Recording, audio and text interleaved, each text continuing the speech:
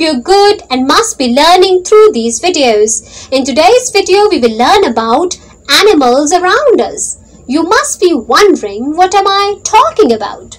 Yes, I'm talking about the cute pet animals in a home. But what are pet animals? Animals that are friendly and can be kept at home are called pet animals. So, not all animals can be friends. Do you think we can have an elephant in a house? I guess because elephant is so big. We can't keep elephant in a home. Let's see which animals can be our pets. Pet animals include cat, dog, goat, rabbit, turtle and fish. Birds can be kept as pets also. Let's explore the pet animals. This is a dog. Dogs are friendly and loving. This is a cat who loves to sleep and is such a playful being.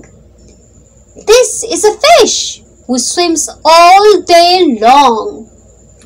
This is a bird and it chirps sweetly. Look at its color. It's beautiful. This is a picture of a rabbit.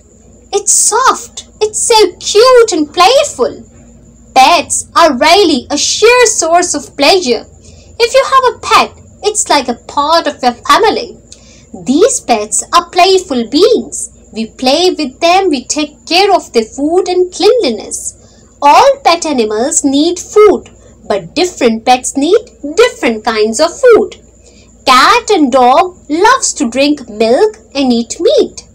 Birds love to eat grains, rice and all kinds of seeds. We keep fish in an aquarium and feed fish with dried fish food. If you keep a cat or a dog in your home, you must feed them good diet that must include milk, meat and their favorite treats to enjoy.